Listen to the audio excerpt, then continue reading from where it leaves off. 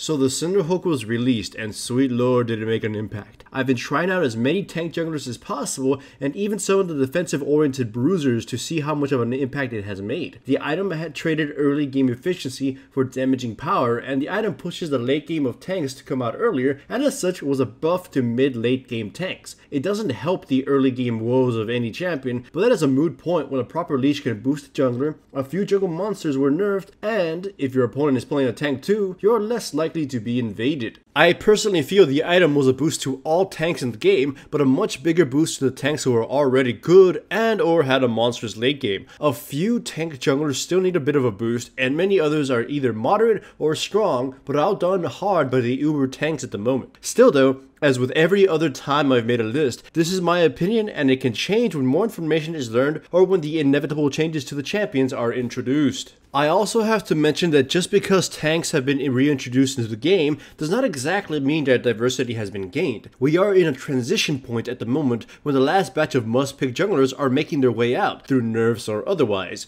and we might just start seeing nothing but the same tanks be played once it becomes widespread, either through solo queue or LCS players starting to spam them. Don't think we can ever truly expect competitive diversity in champion picks, but hopefully we can gain some strategic role diversity, such as picking between an assassin or a tank for a different type of team composition. Keep in mind that I have not obtained footage for all of these champions and instead I opted to use a splash chart. I don't always get to play the jungle, so I just get to watch my teammates play it, or the champion themselves is banned. Even then, you can still learn a lot about a champion just by watching them play. Maokai was already a competitive pick prior to Cinderhulk being introduced, and was a very competent laner. The bruiser changes made to him a while back have greatly strengthened his fighting potential and made him a much more dangerous fighter in exchange for some utility. He has strong clearing, a very affordable and versatile build path, incredible artificial gold value, can hold his own in plenty of matchups, strong ganks, and very powerful peeling, although he does lack in damage and he isn't very strong in initiating like a lot of other tank champions. To his benefit, the Cinder Hulk has granted him boosted clearing speed and much needed damage. Maokai can hurt during a fight, but unless he has help, his fights usually drag on for a while and he may let kills get away as he just doesn't have enough to finish off a target. The Cinderline adds another layer of damage that he can utilize to help the situation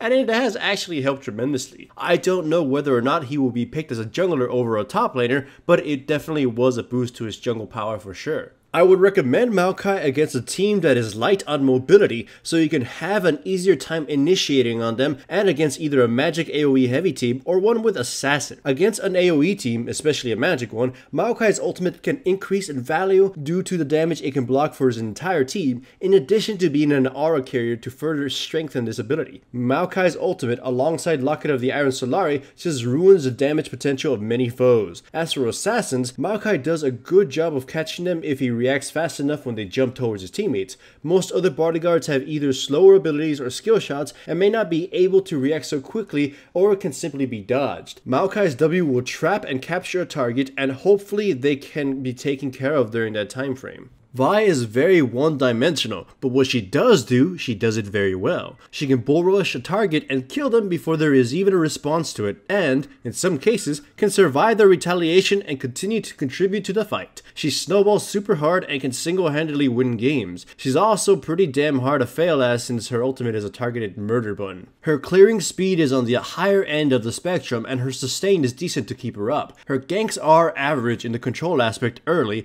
but very high on damage damage, so planning is required in order to burst down a kill target before they flee. However, as it was already mentioned, her ganking power skyrockets to immense levels at level 6 and can spell the doom for any target she grabs. Vi is this sort of bruiser assassin champion we have that can snowball out of control through the game and then lead a problem target during fights. I personally do not believe there are many other uses for her as she isn't the best bodyguard or proper initiator, but what else do you need but the murder of the enemy MVP? Death is the best CC. I would recommend her in almost any team composition you want for solo queue as she is someone that can carry you throughout the ranks. Why bother with teammates when you can just do everything yourself? I despise Nidalee, but I have to admit she is by far one of the strongest junglers in the game currently. Her early game is so obnoxiously powerful that I'm very afraid of picking a weak early game jungler against her simply because a smart one can bully you till you cry. I believe Nidalee's early game is flat out the best of any jungler in the game right now. Her damage is simply absurd and her mobility is ridiculously stupid. She can outduel plenty of junglers either through outmaneuvering them or flat out killing them. Walls are not a problem for her and she can spam the goddamn hop all day. I simply have no idea why Riot decided to buff her jungle. She's extremely easy to kill if you get a hold of her with any champion, but doing so can be a chore depending on who you chose for this. A champion like Lee Sin can probably just snap her in two if he manages to catch her, but a champion like Nautilus would just get recycled and turned into a dumpster so he can hold all the other junglers neatly tossed into the garbage. Her late game might be very spotty, but she's so dominant early game that she can completely shut the game down with her shenanigans. I will go as far as to say that she is the strongest control jungler in the game at the moment. She can avoid wards with all those wall hops, she can steal camps without any difficulty, she can put traps to help keep track of the enemy team, she can travel insanely quick and be where she needs to be all the time while being very dangerous to face. Her ganking is much like Vi in that it lacks any form of control, but the damage is high enough to make it work if done properly. I would recommend you play her if you hate life and worship Satan. Nautilus had his power shifted around in the form of a weaker W but a much more spammy E. This, alongside the Cinderhulk, proved to be a very huge buff to him. His early game is still absolute crap and he's still prone to invasion and counter ganks, but his late game comes sooner and his bodyguard potential is outright sickening. His peeling potential was already insane before, but now it's just crazy. Anyone who doesn't have any blinks, or if they're on cooldown, will never pass him to get to his MVP. He already had a very strong late game even when he was underused, and experienced players knew to respect his late game. As it was stated earlier, the Cinderline has essentially brought the late game for many junglers out sooner. Nautilus reaches the point where he is nearly unstoppable much sooner than before. He has the most crowd control in the entire game, and his damage is respectable given that he's usually built as a full tank. His initiation can be rather lackluster against certain team compositions, but he more than makes up for it with his ungodly peeling and a slew of battlefield control tools. I'd recommend playing Nautilus in team compositions that either lack crowd control so you can fill the gap, or have lots of crowd control already so you can lock down entire teams with proper rotations of all your crowd control. I'd strongly suggest avoiding picking Nautilus into a heavy disengage team as it can make most of his abilities useless. Rek'Sai is a champion I personally do not like very much, but I cannot deny that her damage is rather absurd. She's very dangerous in fights, has competent clears, and is very mobile, but has sketchy, if not outright useless crowd control, and an ultimate that is only really useful if you're already ahead. Even so, her absolutely tremendous killing power and the ability to farm it is enough to make her a contested pick. She's a very tanky fighter with high killing potential that makes up for any shortcomings. There's really not much else to talk about her. I'm actually a bit divided between the following two. Sion and Sejuani are both very strong champions right now, and they were very strong prior to Cinderhulk being introduced. The items sent them over the edge though, and right now they possess too much tankiness with killing potential. Sion is seen in top lane more, but the allure of Cinderhulk has brought him into the jungle. Sejuani probably edges him out, but I want to say it is only slightly since there are heavy pros and cons to both of them. For starters, Sejuani's early game is still lawful, and her early mid game can still be a pain sometimes. Her ganking pre 6 is only just okay, but it becomes incredibly potent once she reaches level 6, and soon enough most of her problems start vanishing. Her late game has always been very strong thanks to her high damage alongside her initiation powers. The Cinderhulk has only further increased this late game power and made her a menace. On the other hand, Sion has no problem at any portion of the game. His early game is actually very strong and safe and he continues to transition well into the game. He never loses any potency as he is strong early, mid, and late game. However, his ganking is very spotty pre-6 and even then when he reaches level 6, it's pretty unreliable against certain compositions. His health becomes absolutely absurd by the end of the game and he becomes nothing short of unkillable. It is basically a debate between one champion who is strong throughout the course of the game and another who starts slow but ramps up to dangerous levels. I do feel Sejuani edges him out simply because solo queue games tend to either be a stomp fest or drag out long enough for you to hit late game. Sejuani will also get stronger the more tanky champions are picked since she won't be at a risk of getting her early game exploited. However, she is also getting mega nerfed in the PBE so we will have to wait and see.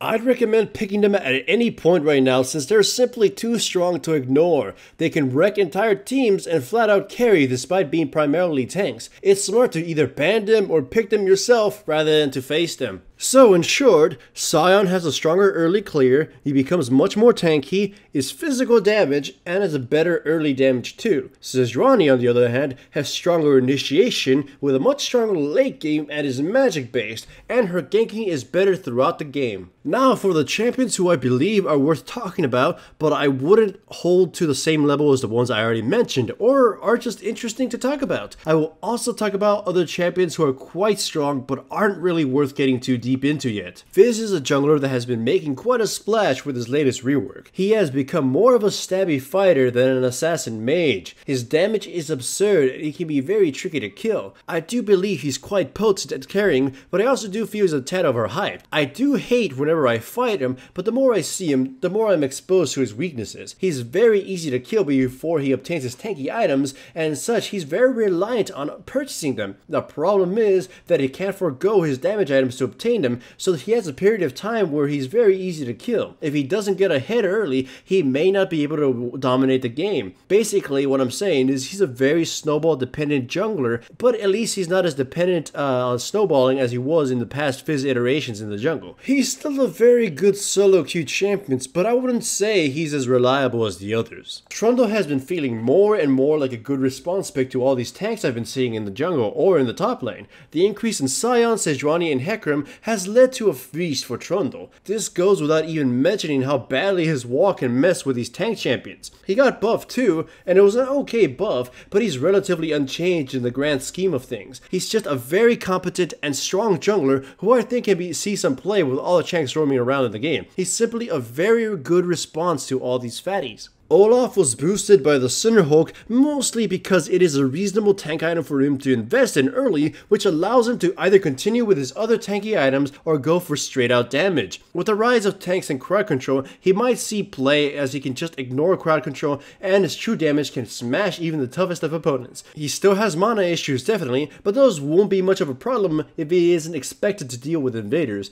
People should remember that the return of the tank meta can also mean the return of tanky bruisers like Olaf and Volibear. Much like Trundle, Olaf could be a more offensive-oriented answer to all these fatties. Tank Gragas has always been a thing since his rework and was very competent in the jungle. The Cinderhulk sent him overboard and he can become unkillable after a certain point alongside having some super strong early game and sustain. He has a unique form of initiation. He's a mobile champion, can poke and has a surprising amount of burst but tends to be very reliant on items, which is an unfortunate thing for tank junglers. If you get harassed early or get so behind due to unsuccessful ganks, it can severely hurt your potential to do much in fights, let alone survive. As I said before, most tank junglers did improve, but the ones who were already in the middle of the pack simply got the Sunfire boon and nothing else. Amumu is still pretty much the same thing and is only held back by being in the shadow of the top picks at the moment, and by the same problems that have always plagued him. At least he has new build options and Tank Amumu is viable once more. Malphite is still jungling's B student. The Cinder line was a massive boost to Malphite's strength, but his weak early presence and his weakness to mobility hold him back. He's still a great response pick to attack speed heavy team compositions or in an AoE team composition, so you might see him when that's the focus of the game, but otherwise he's edged out. I have honestly seen zero Zac players other than myself, so I cannot really pass any judgment. If anything, I'd assume he ended up seeing the same fate as Amumu. Dr. Mundo is also greatly benefiting from the Cinder line, but he still has issues with having little utility. His return in the jungle will likely only see a return if early game pressure isn't needed as much from teams. Either way, there are plenty of other junglers who are competent or strong, but they've already been talked about to death, or most of you already know where they stand. Just because I did not mention them doesn't mean I think they are bad. I just think they aren't worth talking about at this very moment. If I were to list my top 10 champions in the jungle, they would be in this order Pantheon, Fiddlesticks, Maokai, Nautilus, Lee Sin, Vi, Nidalee, Rek'Sai, Sion, and Sejuani. If I ever choose to, I may update the tier list with comments about every other jungler, but I would rather not do that right now. Some new junglers might take the top 10 position in due time as we discover more things about them or Riot makes more balance changes.